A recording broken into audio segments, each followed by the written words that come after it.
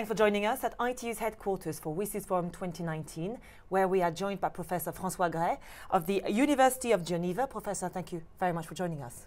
Thank you for having me. Now, you direct an education program uh, called the uh, Geneva Tsinghua Initiative. What can you tell us about it?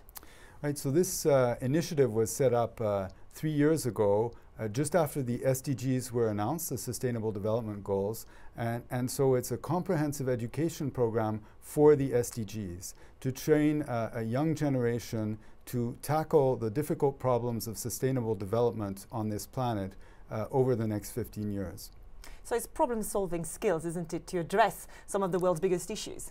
Absolutely. So the kind of education we give, of course, there's some of it which is more traditional classroom, but we uh, really insist that the students, at least half of their time should be spent uh, in a space where they're solving projects in teams, working closely with mentors from the international organizations here in Geneva who have real field experience, who know what the problems are. And you were here at the WSIS Forum 2019 with some of your students, and uh, there was this very popular uh, display involving VR, um, and it was all about uh, VR to help people understand the world's biggest problems a bit better. What can you tell us about it? Right, so virtual reality is, is one of these up and coming technologies that we think everybody will have soon, or you know, a very large proportion of people, especially in the developing world, will be using all the time. And the idea was to explore with our researchers who are, who are studying the impact of VR, the psychological impact of it, what it could do to help people understand what the future of the planet might look like under different scenarios of development.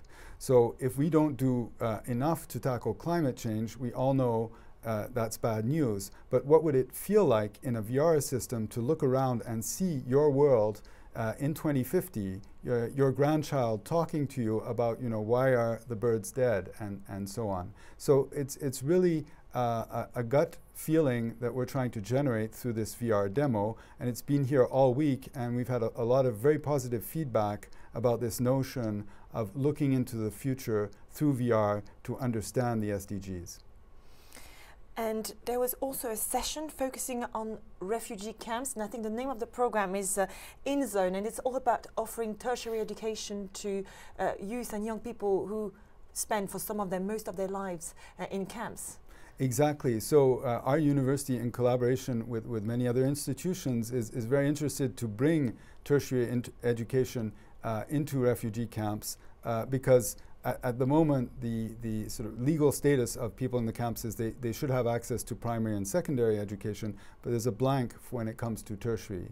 Uh, so InZone is essentially like a container full of tools to help uh, young people uh, get that education online. So it's e-learning uh, uh, brought to uh, these kind of extreme conditions, which unfortunately, although extreme, are going to be the life and livelihoods of many young people for many years to come.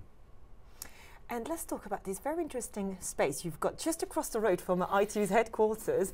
Uh, and it's, uh, it's an SDG space. What does that mean exactly? Right, we call it the SDG solution space. Uh, and we wanted to emphasize that it's about finding solutions. So it's a maker space in modern parlance, but maker means you build things, uh, gadgets and so on. We wanted to get away from what I would say is a techno solutionist view of the world. Technology isn't always the solution, sometimes it's the problem. So we want our students to work on solutions. Uh, with this close mentorship with the international organizations, sometimes the solution is a policy change. Sometimes it's a campaign to raise awareness about an issue. Uh, and so our students are working on these solutions with uh, people from the public in Geneva and from the international community. So it's a very open space.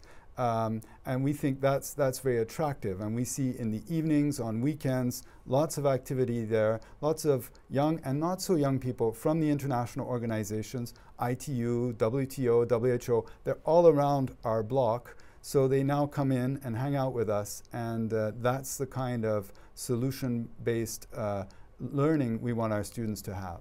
Fantastic. Professor Francois Grey, thank you very much. Thank you.